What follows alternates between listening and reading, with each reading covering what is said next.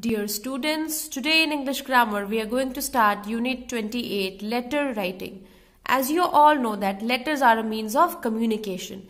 They are personal or formal piece of writing. Letters are written to convey our personal thoughts or concerns to others. There are two types of letters, formal letters and informal letters. Now, we write formal letters or applications to the officials, the principal, the class teacher, etc. And in formal letters, we use formal and polite tone. You have learned this in Hindi as Opcharik Patra. The other one is informal letters. We write informal letters to our near and dear ones. In an informal letter, we use simple language and express our feelings in a natural way. We keep the tone personal and friendly. You have learnt it in Hindi as Anopcharik Patra. So first of all, we will learn the format of formal letter. So students, here is the format of formal letter. Firstly, the formal letter is written towards the left hand side of the page. Okay, everything is written at the left hand side. So we start with the sender's address, the person who is sending the letter. For example, if I am writing the letter, then I am the sender. So I will write my address here. Okay, followed by the date. The date is written as December 20, 2021. You have to put a comma after the date and the year.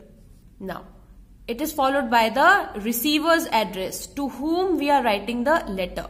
We are writing the letter to the principal, so the principal is the receiver. So we write the address, the principal, the name of the school and the area where the school is located forms the part of the receiver's address. After that, we write the subject that is why we are writing the letter. The reason why we are writing this letter to the receiver.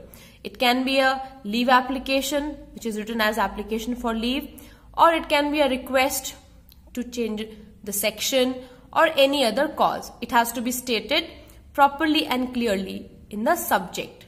It is followed by salutation.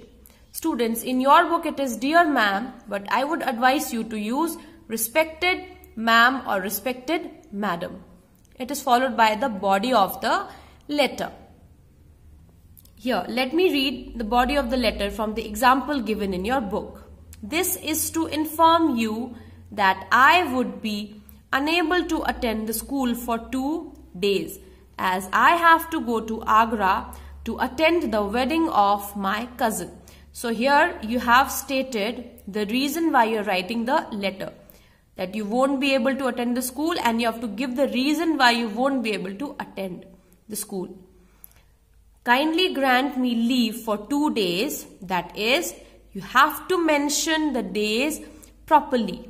12th October 2021 and 13 October 2021. Now this is followed by the subscription. Okay. Thanking you. You can write in the subscription, yours obediently, yours truly, yours faithfully. Followed by your signature, that is your full name and your class section.